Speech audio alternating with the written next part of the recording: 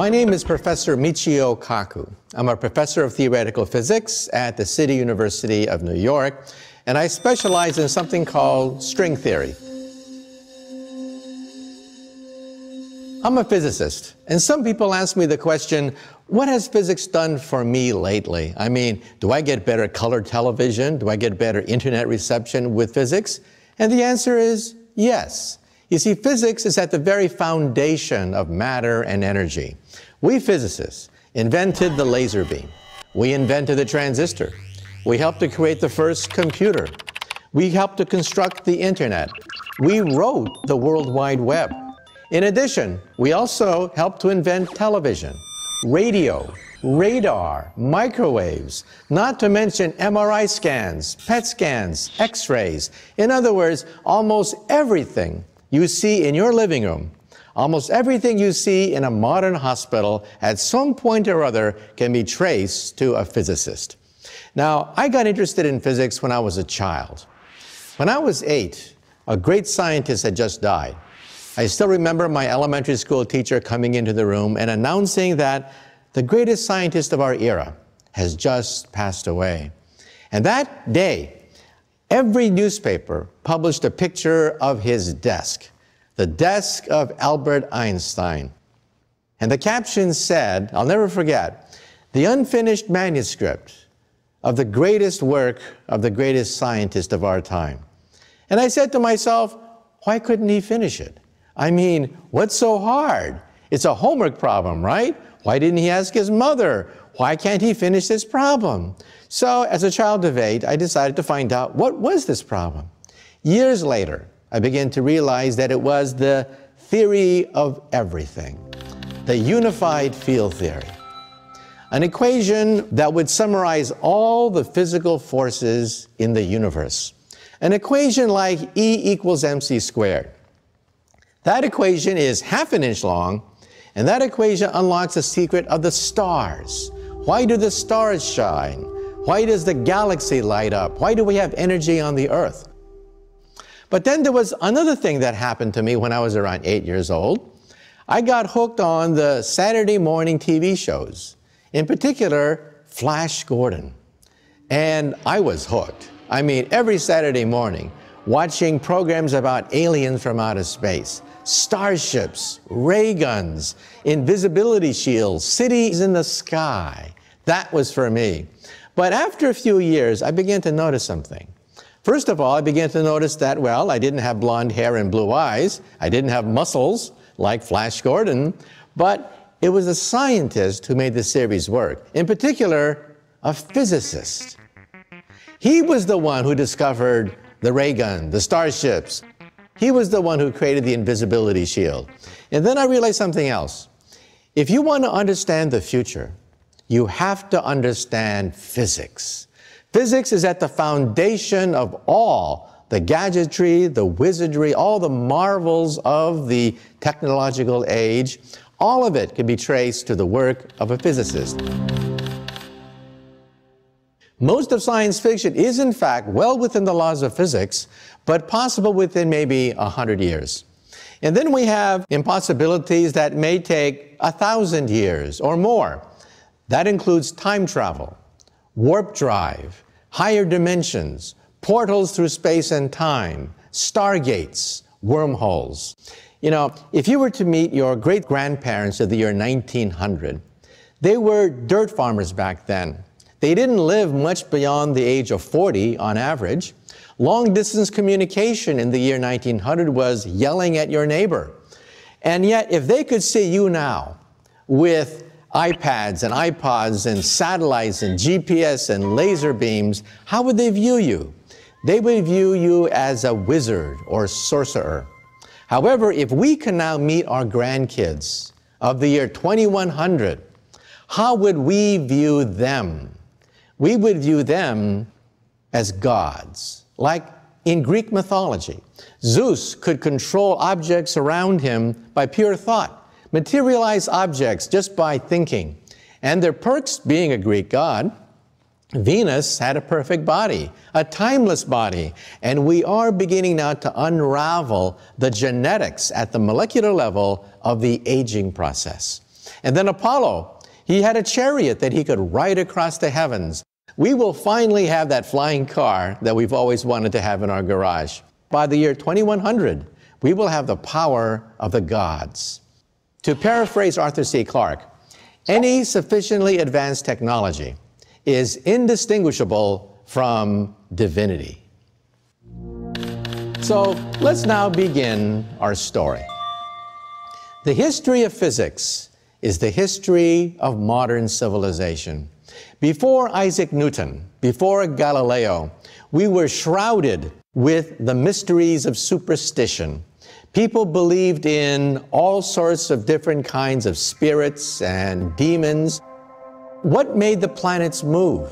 Why do things interact with other things? It was a mystery. So, back in the Middle Ages, for example, uh, people read the works of Aristotle. And Aristotle asked the question why do objects move toward the earth? And that's because he said objects yearn, yearn to be united with the earth. And why do objects slow down when you put them in motion? Objects in motion slow down because they get tired. These are the works of Aristotle, which held sway for almost 2,000 years until the beginning of modern physics with Galileo and Isaac Newton. When the ancients looked at the sky, the sky was full of mystery and wonder. And in the year 1066, the most important date on the British calendar, there was a comet a comet which sailed over the battlefield of Hastings. It frightened the troops of King Harold, and a young man from Normandy swept into England and defeated King Harold at the Battle of Hastings, creating the modern British monarchy. But the question is, where did the comet come from? What was this comet that mysteriously paved the way for the coming of the British monarchy? Well, believe it or not, that same comet, the very same comet that initiated the British monarchy, sailed over London once again in 1682. This time, everyone was asking the question where do comets come from? Do they signal the death of the king? Why do we have messengers from the heavens in the sky? Well, one man dared to penetrate the secrets of comets, and that was Isaac Newton. In fact, when Isaac Newton was only 23 years old, he stumbled upon the universal force of gravitation. According to one story, he was walking on his estate in Woolsthorpe and he saw an apple fall. And then Isaac Newton saw the moon. And then he asked the key question which helped to unlock the heavens. If apples fall, does the moon also fall? And the answer was yes. And that answer overturned thousands of years of mystery and speculation about the motions of the heavens. The moon is in free fall. Just like an apple, the moon is constantly falling toward the earth. It doesn't hit the earth because it spins around the earth and the earth is round but it's acting under a force, a force of gravity. So Newton immediately tried to work out the mathematics, and he realized that the mathematics of the 1600s was not sufficient to work out the motion of a falling moon. So what did Isaac Newton do? When he was 23 years old, not only did he stumble upon the force of gravity, but he also created calculus. In fact, he created calculus at the rate at which you learn it when you're a freshman in college. And why did he create calculus? To calculate the motion of a falling moon. The mathematics of his age was incapable of calculating the trajectories of objects moving under an inverse square force field. And that's what Isaac Newton did. He worked out the motion of the moon. And then he realized that if he understands the moon, he also understands the motion of the planets in the solar system. And Isaac Newton invented a new telescope. It was the reflecting telescope, and he was tracking the motion of this comet. Well, it turns out that everyone was talking about the comet, including a rather wealthy Englishman by the name of Edmund Halley. So Edmund Halley, being a wealthy merchant, decided to make a trip to Cambridge to talk to England's illustrious scientist, Sir Isaac Newton. Well, Edmund Halley asked Newton, What do you make of this comet? No one understands comets, they're a mystery. They've been fascinating people for centuries, for millennia. What are your thoughts? And then I paraphrase, but Isaac Newton said something like this He said, Oh, that's easy. That comet is moving in a perfect ellipse. It's moving in, a, in an inverse square force field. I've been tracking it every day with my reflecting telescope, and the path of that comet conforms to my mathematics exactly. And of course, we don't know what Edmund Halley's reaction was, but I paraphrase. He must have said something like this For God's sake, man, why don't you publish the greatest work in all of scientific history? If correct, you have decoded the secret of the stars, the secret of the heavens. Nobody understands where comets come from. And then Newton responded and said, Oh, well, it costs too much. I mean, I'm not a wealthy man. It would cost too much to summarize this calculus that I've invented and to work out all the motion of the stars. And then Halley must have said this Mr. Newton, I am a wealthy man. I have made my fortune in commerce. I will pay for the publication of the greatest scientific work in any language. And it was Principia. The principles, the mathematical principles that guide the heavens. Believe it or not, this is perhaps one of the most important works ever written by a human being in the 100,000 years since we evolved from Africa. Realize that this book sets into motion a physics of the universe, forces that control the motion of the planets, forces which can be calculated, forces which govern the motion of cannonballs, rockets, pebbles, everything that moves moves according to the laws of motion and the calculus of Sir Isaac Newton. In fact, even today, when we launch our space probes, we don't use Einstein's equations. They only apply when you get near the speed of light or near a black hole. We use Newton's laws of gravity. They are so precise that when we shoot a space probe right past the rings of Saturn, we use exactly the same equations that Isaac Newton unraveled in the 1600s. That's why we've been able to unravel the secrets of the solar system, complements of the laws of motion of Isaac Newton.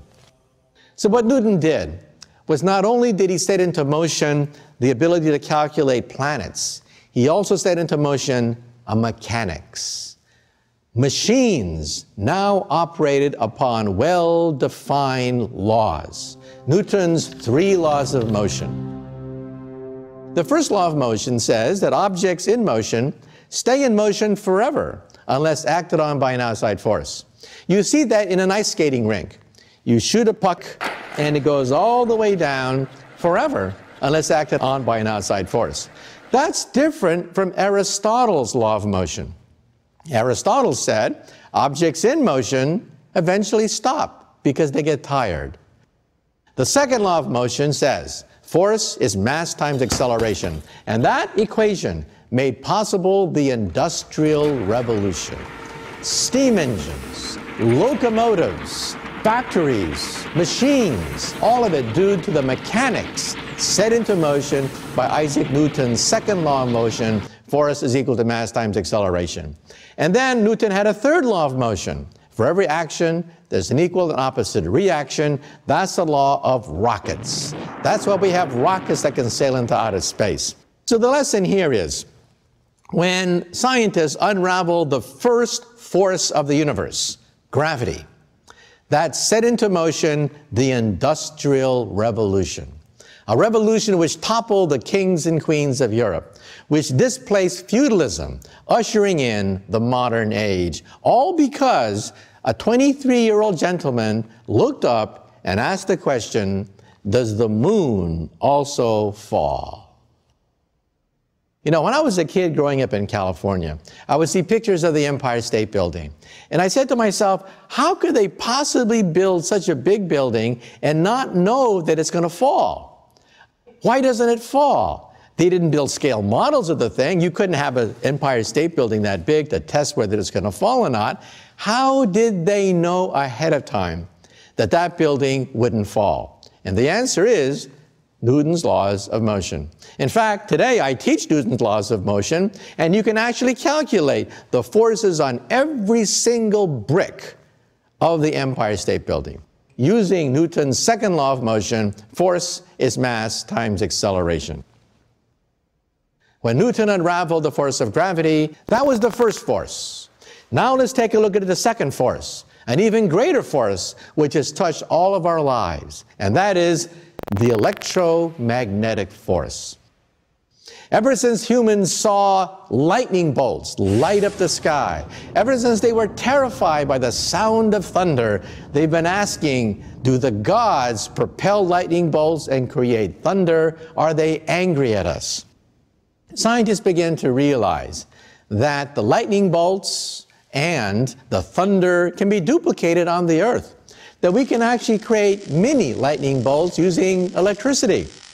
But it wasn't until the 1800s that finally we began to unlock the second great force which rules the universe, the electromagnetic force. Michael Faraday would give Christmas lectures in London, fascinating everyone from adults to children. And he would demonstrate the incredible properties of electricity. Some people, for example, ask a simple question. If you're in a car or an airplane, and you get hit by a lightning bolt, why don't you all get electrocuted? Why don't you all die? Well, Faraday answered the question. He would create a cage. He would walk into this steel cage, electrify it, and he wouldn't get electrocuted at all. That's called a Faraday cage. And every time you walk into a metal structure, you get shielded by this metal object. Well, what Michael Faraday did was he helped to unleash the second great revolution with something called Faraday's Law.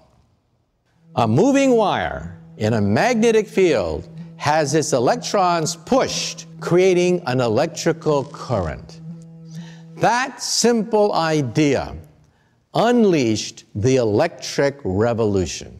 And that's why we have hydroelectric generators, dams that can produce enormous amounts of power. That's why people build nuclear power plants. That's why we have electricity in this room right now. On a very small scale, you use that in your bicycle. When you put a bicycle lamp on your bicycle, the turning of the wheel spins a magnet. The magnet then pushes electrons in a wire, and that's why electricity lights up in your bicycle lamp. So, in other words, electricity and magnetism were unified into a single force. We once thought that electricity and magnetism were separate. Now we know they are, in fact, the same force. So, if a moving magnet can create an electric field, this means that a moving electric field can create a magnetic field. But if they can create each other, why can't they oscillate? And create a wave. So that moving electric fields create magnetic fields, create electric fields, create magnetic fields, infinitum, to create a wave. Well, around the time of the American Civil War, a mathematical physicist, James Clerk Maxwell, calculated using the work of Faraday the velocity of this wave in one of the greatest breakthroughs of all time James Clerk Maxwell calculated the velocity of this wave and found out it was the velocity of light. And then he made this incredible discovery. This is light. That's what light is. It doesn't by accident travel at the speed of electricity, it is light itself. And the equations were written down by James Clerk Maxwell Unfortunately, Michael Faraday himself did not have a formal education. He could not put into mathematical form his own work. James Clerk Maxwell was a theoretical physicist, just like myself. He wrote down the mathematical physics of oscillating electric fields and magnetic fields, and they are called Maxwell's equations. These equations have to be memorized by every physicist in grad school. You cannot get your PhD without memorizing these equations. Every engineer who deals with radar and radio has to memorize these equations. And so, if you go to Berkeley, where I got my PhD, you can buy a t shirt which says, In the beginning, God said, the four dimensional divergence of an antisymmetric second rank tensor equals zero, and there was light. Ladies and gentlemen, this is the equation for light. The consequences of the electromagnetic revolution touch all of us. This is a picture of the Earth from outer space. Look at this picture. Europe electrified. You can actually see the fruits of all of our efforts to create electricity, to energize our lives in one picture, seeing the Earth from outer space. So let's now talk about how Faraday and Maxwell's work touches your life as well. This is the internet. The internet is a simple byproduct of the electromagnetic force, and you can see that where there is the internet, there's prosperity. There is science, there's entertainment, there's economic activity. Where there's no internet, there's poverty. And in the future, the internet will be miniaturized and it'll be placed in your glasses. Your glasses will recognize people's faces and display their biography next to the image as you talk to them. And then when they speak Chinese to you, your glasses will translate Chinese into English and print out subtitles right beneath their image. So in the future, you will know exactly who you are talking to without even talking to them. And this means that at a cocktail party, if you're looking for a job, but you don't know who the heavy hitters are, in the future, you will know exactly who to suck up to. In the future, chips will only cost a penny, because we can manufacture tinier and tinier transistors, you will have Faraday's electromagnetic force inside your body. This is a pill. It has a chip in it. The chip is smaller than an aspirin pill. It also has a TV camera and a magnet. When you swallow it, the magnet guides the camera, taking pictures of your stomach, your intestines, because we all know what middle aged men fear the most colonoscopies. And this gives new meaning for the expression Intel inside. Now, let's talk about the next great forces which rule the universe. We talked about gravity, which allows us to calculate the motion of the planets the mechanics created by Newton helped to unleash the Industrial Revolution. Michael Faraday worked out the electromagnetic force, which gave us the wonders of the electric age. And now let's talk about the nuclear age, the stars and the sun. People have been fascinated by the sun. Apollo was the god that strode across the heavens in his fiery chariot. But hey, when you calculate how long coal or oil will burn like the sun, you realize that in just a few hundred years, the sun would burn to a crisp. So, what could possibly last for billions of years? There must be a new force, a nuclear force. Einstein and others helped to unravel the secret of the stars. The nuclear force comes in two types weak and strong. The weak nuclear force governs radioactive decay. The strong nuclear force is one of the strongest forces in the entire universe. It's so strong, it holds our protons together ever since Genesis, the beginning of time. The equation which allows for the liberation of energy is Einstein's famous equation, E equals mc squared. What Einstein showed was that the faster you move, the heavier you get. So your weight is not a constant. When you move very rapidly, you get heavier, something which we measure every day in the laboratory. Now, this means that the energy of motion transformed into mass because you get heavier. Now, listen carefully.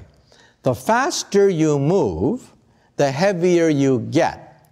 which means the energy of motion E turns into m, your mass. And the relationship between E and m is very simple. It takes one second to write it down on a sheet of paper. It is exactly E equals mc squared. So the nuclear force helped to explain the secret of the sun, but it also created a Pandora's box. Because inside the nucleus of the, of the atom are particles. And when you smash these particles, what do you get? More particles. And when you smash them, what do you get? More particles. In fact, we are drowning in subatomic particles. Hundreds, thousands of subatomic particles every time we smash atoms. Now, we smash atoms using something called atom smashers or particle accelerators. I built my own particle accelerator when I was in high school. When I was in high school, I went to my mom one day and I said, Mom, can I have permission to build a 2.3 million electron volt betatron particle accelerator in the garage? And my mom said, Sure, why not? And don't forget to take out the garbage.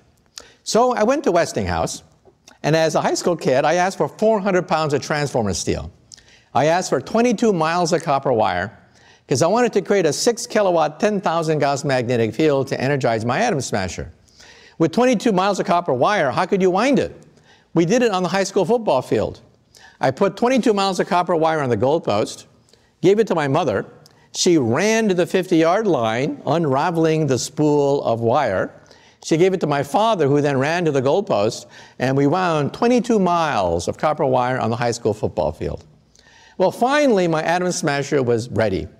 It consumed six kilowatts of power. That's every single ounce of power that my house could deliver. I plugged my ears, I closed my eyes, I turned on the power, and I heard this huge crackling sound as six kilowatts of power surged through my capacitor bank. And then I heard a pop, pop, pop sound as I blew out every single circuit breaker in the house. The whole house was plunged in darkness. My poor mom, every time she'd come home, she would see the lights flicker and die. And she must have wondered, why couldn't I have a son who plays baseball? Why can't he learn basketball? And for God's sake, why can't he find a nice Japanese girl? I mean, why does he have to build these machines in the garage? Well, these machines that I built in my garage earned the attention of a physicist, Edward Teller, father of the hydrogen bomb. And he arranged for me to get a scholarship to Harvard. And my career got a head start. He knew exactly what I was doing. I didn't have to explain to him that I was experimenting with antimatter. I was creating anti-electrons in my mom's garage and using atom smashers to eventually create beams of antimatter. Antimatter is the opposite of matter. It has the opposite charge. So an electron has negative charge. The positron or anti-electron has positive charge. This means that you can now create anti-molecules and anti-atoms. Anti-hydrogen was made at CERN outside Geneva, Switzerland, and also at Fermilab outside Chicago, where I have anti-electrons circulating around anti-protons. And in Brookhaven National Laboratory in Long Island, just recently, they detected anti-helium. We have two anti-protons with two anti-neutrons to create anti-helium. For every piece of matter, there's a counterpart which is made out of antimatter. And when the two collide, by the way, it releases the greatest energy source in the universe. It is 100% conversion of matter to energy by Einstein's equations, E equals mc squared.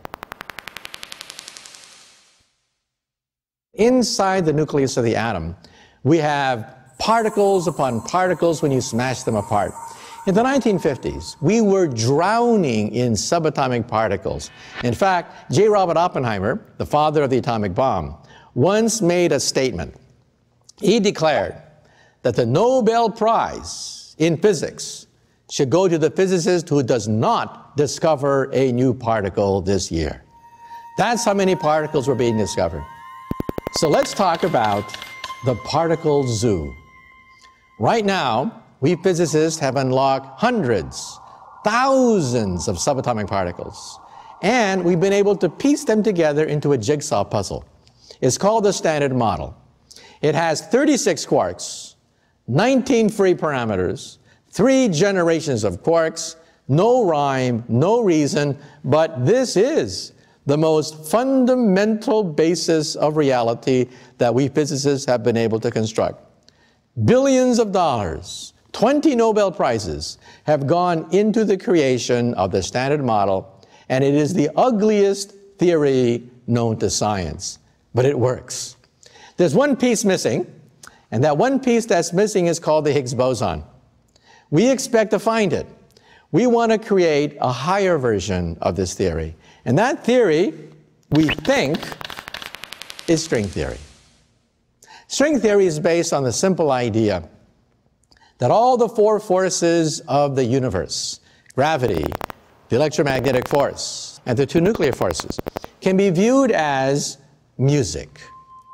Music of tiny little rubber bands. So if I had a super microscope and I could look right into the heart of an electron, what would I see? I would see a vibrating rubber band. And if I twang it, it turns into a neutrino. I twang it again, it turns into a quark. I twang it again, turns into a Yang-Mills particle. In fact, if I twang it enough times, I get thousands of subatomic particles that have been cataloged patiently by physicists.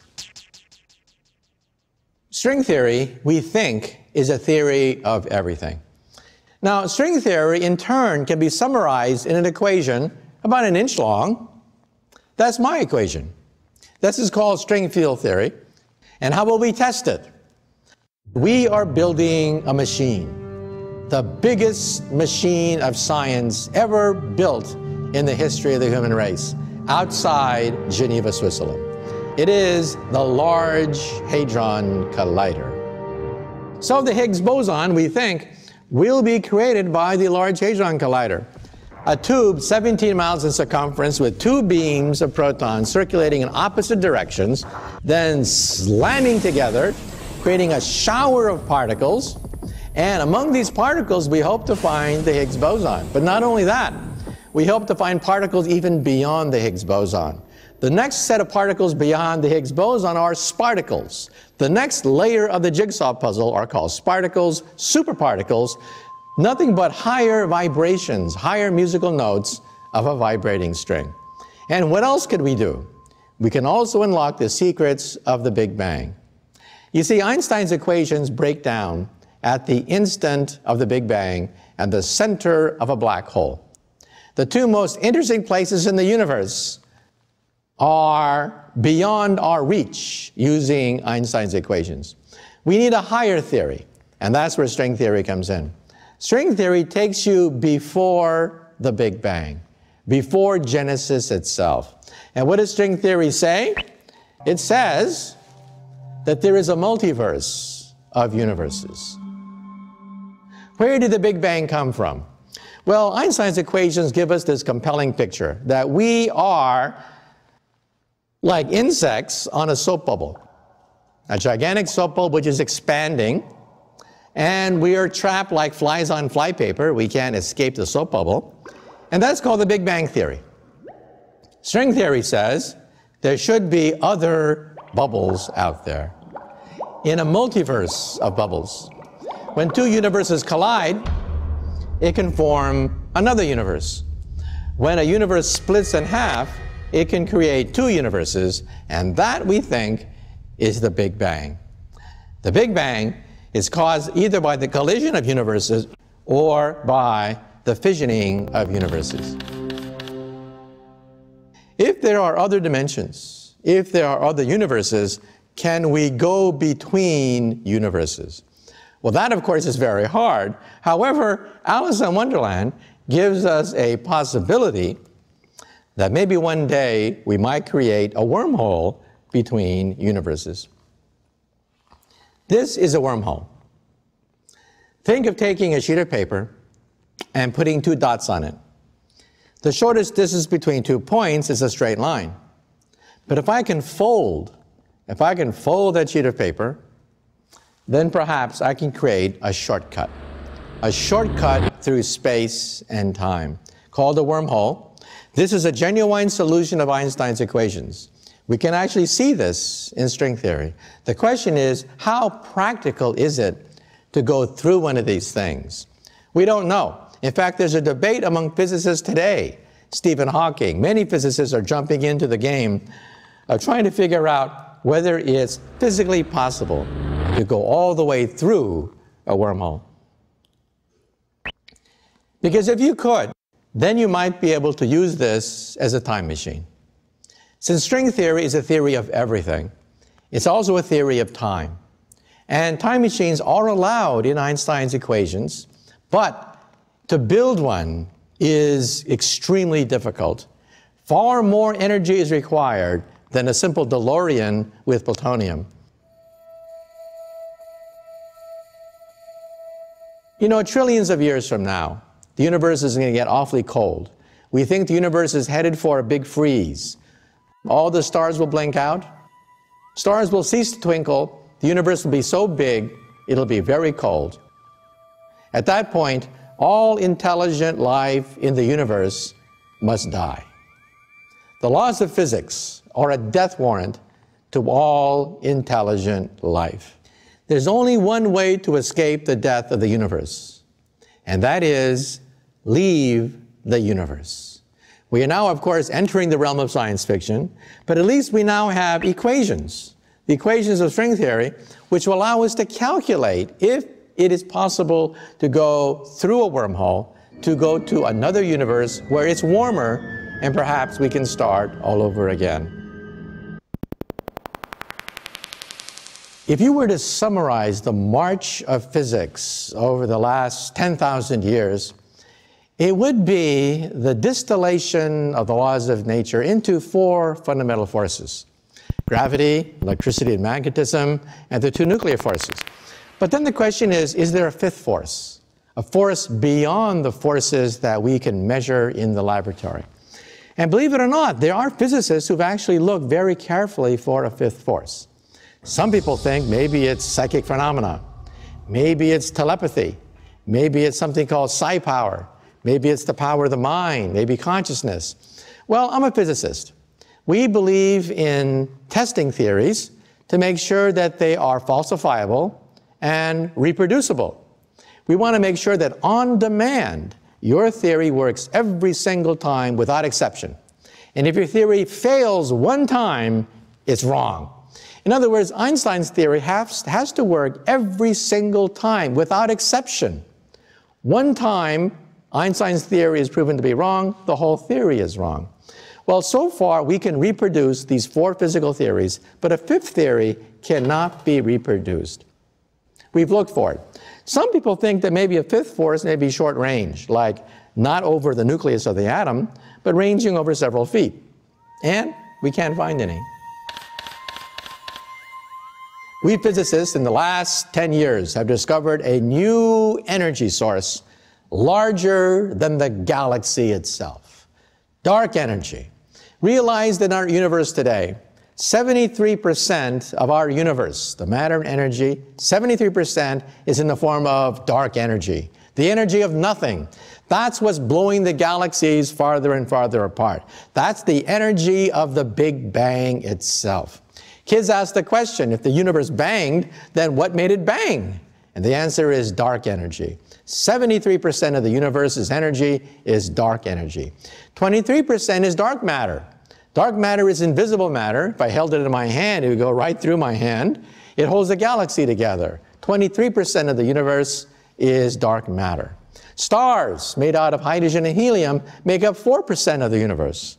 And then what about us? We, the higher elements, we, made out of oxygen, carbon, nitrogen, tungsten, iron, we make up 0.03% of the universe.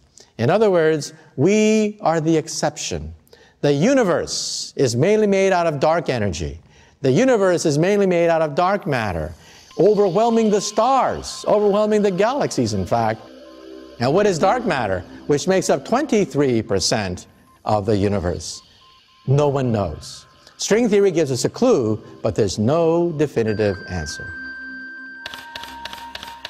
So, in other words, for you young aspiring physicists out there in the audience, You may be saying to yourself right now, why should I go into physics? Because you guys already have a candidate for the unified field theory, right? Just realize that every single physics textbook is wrong. Every single physics textbook on the earth says that the universe is mainly made out of atoms, right? There it is. The universe is mainly made out of atoms. Wrong. In the last 10 years, we have come to the realization that most of the universe is dark. And there's a whole shelf full of Nobel Prizes for the young people who can figure out the secret of dark matter and dark energy. Let me give some advice to you if you are a young physicist, perhaps just getting out of high school, you have dreams of being Einstein, of dreams of working on string theory and stuff like that, and then you hit freshman physics. Let me be blunt. We physicists flunk most students taking elementary physics, and we're more or less encouraged to do so by the engineering department. We don't want to train engineers who make bridges that fall down. We don't want to create engineers that create skyscrapers that fall over. There's a bottom line. You have to know the laws of mechanics. So before you can work with the laws of Einstein, you have to work with the laws of friction, levers, pulleys, and gears. As a consequence, we have a very high flunk-out rate in elementary physics. So if you're a young physicist graduating from high school with stars in your eyes and you encounter freshman physics for the first time, watch out. If you have a rough time, that's the way it is. I started out my life as an experimental physicist. Then I went to Harvard, and then I talked to my advisor, one of the world's greatest experimental physicists, Professor Pound, and he told me that maybe it's time to give it a rest. He said to me, Your skills are much better suited to what you love the most, which is theory, mathematics, the world of, of higher dimensions. And I realized that he was probably right.